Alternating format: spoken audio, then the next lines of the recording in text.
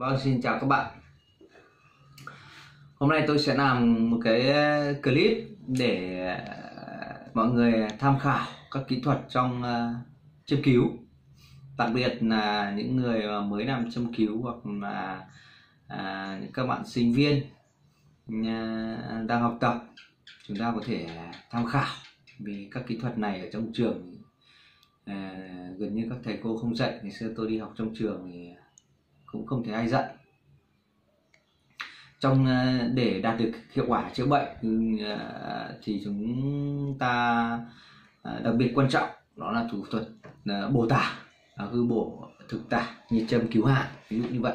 Kể cả chúng ta dùng thuốc hay dùng kim chúng ta phải để nắm chắc được những những các cái lý luận này. À, trong châm cứu thì chủ yếu sử dụng 8 thủ thuật cơ bản à, đó là à, từ tật. Đó là à, khai bế. Hai là khai bế ba là liệm chuyển.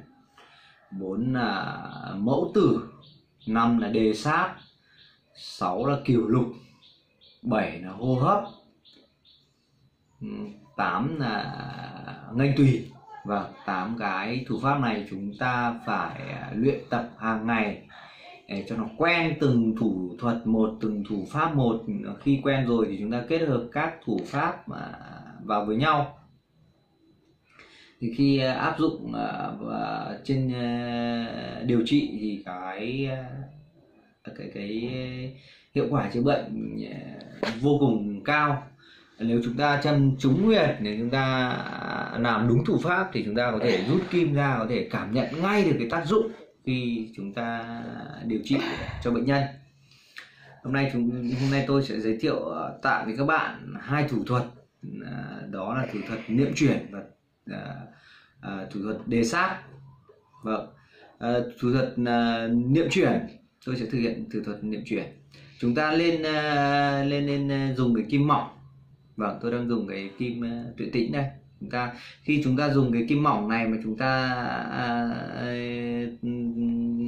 châm được thì khi bất kể cầm một cái kim gì thì chúng ta đều châm dễ dàng còn khi chúng ta đang cầm cái kim dày chúng ta cầm à, khi châm vào cái kim mỏng này chúng ta sẽ dễ bị cong kim Đó. chúng ta lên à, tập cái kim mỏng ạ vâng.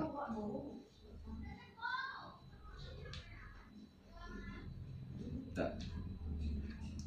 chúng ta tôi quên vừa xong tôi chưa nói chúng ta phải chuẩn bị một cái quần chỉ như này. Quần chỉ này tôi chuẩn bị từ ngày xưa thì nó có hơi mỏng một chút chúng ta có thể làm dày hơn gấp rưỡi hoặc gấp đôi cũng cũng cũng được. À, các bạn ạ. À, à, chúng ta à, khi chúng ta châm vào quần chỉ này thì chúng ta nó cũng cảm nhận như cái thớ cơ của chúng ta ấy.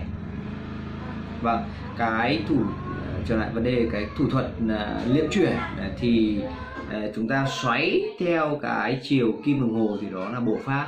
Chúng ta xoáy ngược chiều kim đồng hồ là tả pháp. Chúng chúng ta tưởng tượng như một con ốc vít chúng ta vặn vào vặn vào thì cái khí nó sẽ được đưa vào và vít chặt.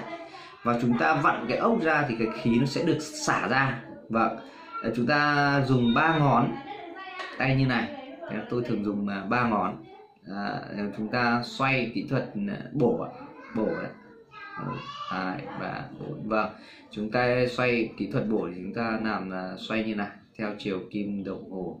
Chúng ta có thể ờ, bổ vừa hoặc bổ nhiều hoặc đại bổ. Đại bổ nó 91 hoặc là bổ 18 hoặc bổ 9 tùy theo từng trường hợp cụ thể. Còn tả thì chúng ta kéo ngược cái tay lại kéo ngược cái ngón cái lại ngược chiều chiều kim hồ tả pháp thì có ờ, uh, 36 lần là tả và 108 lần là đại tả. Cũng uh, tùy trường hợp để chúng ta về Đó, tôi sẽ về tả pháp. Đó. và mới đầu chúng ta tập thì nó có thể rất là mỏi tay nhưng dần dần nó sẽ quen. Mới đầu chúng ta tập thì chúng ta nên tập uh, từ từ. Quen rồi thì chúng ta có thể làm nhanh. À, tôi đang thực hiện thủ thuật tả pháp kỹ thuật ờ, uh, về kim niệm chuyển. Vâng đấy các bạn nhìn rõ chưa đấy tả pháp như này. Và kỹ thuật uh, thứ hai mà tôi giới thiệu đó là kỹ thuật đề sát. Đề sát là lâng kim và ấn kim. Ờ, à, tả pháp thì là lâng uh, mạnh kim và ấn nhẹ à, nhẹ xuống à, nghĩa là mạnh tay lưng mạnh nhẹ tay ấn mạnh tay lưng nhẹ tay ấn. Vâng đây là kỹ thuật đề sát sát vâng. Đấy, tôi đang thực hiện kỹ thuật đề sát.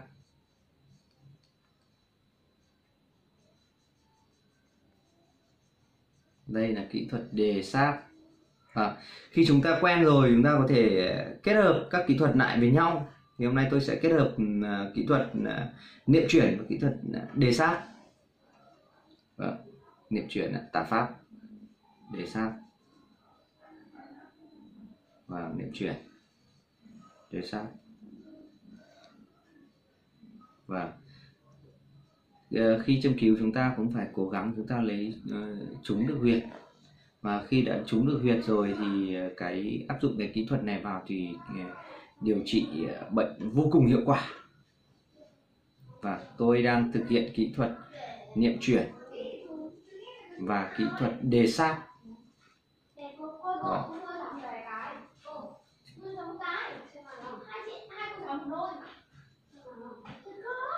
vâng và cảm ơn các bạn. Cái quần chị này của tôi à, quấn hơi chặt một chút nên là khi chăm nó có thể rất là dễ bị à, cong kim ở trong này, rất là chặt. Và xin chào các bạn.